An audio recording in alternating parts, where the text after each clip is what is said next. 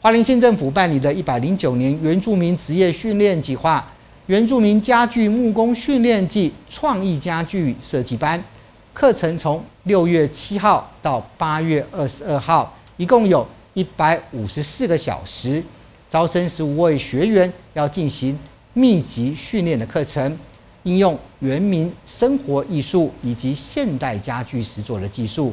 结训之后，也可以参加今年度家具木工类。丙级鉴定考试。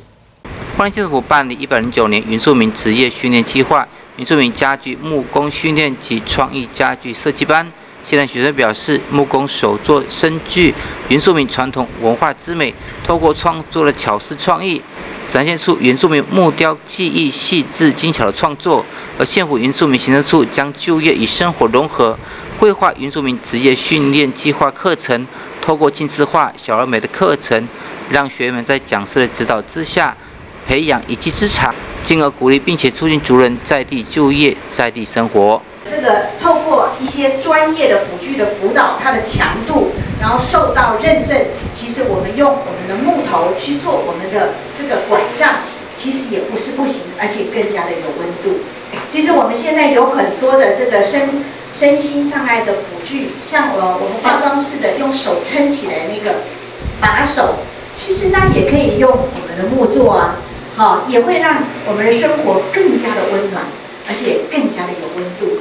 长者不会觉得说我好像我好像就在医院，都是不锈钢，都是冷冷冰冰的。其实有很多透过我们一点点小小的用心，就可以让我们的长辈更加的舒心。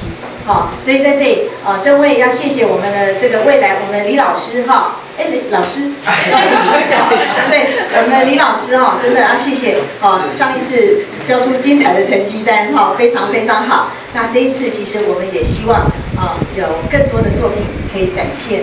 然后一百多一百多个小时嘛，对不对？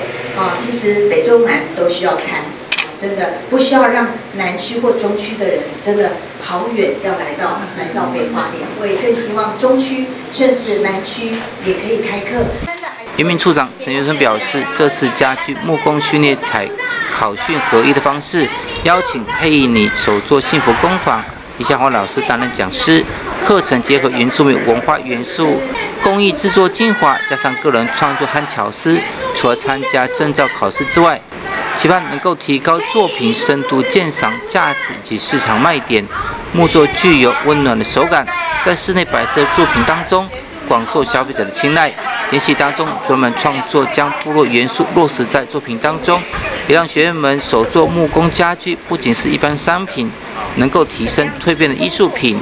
而开训当中，县第五室依赖简志龙、张美惠、议长办公室助理梁泽斌都前往出席，为学员们加油打气。学员们一致肯定县府开办这次的家具木工训练的用心，希望经过这次的训练学习，以现代工法加入文化创意制作美观。实用又深化文化的意义，手作家具，让学员能够学到各种实作技艺，期望能够在求职当中能够顺利录取。记得九王一，欢迎收看。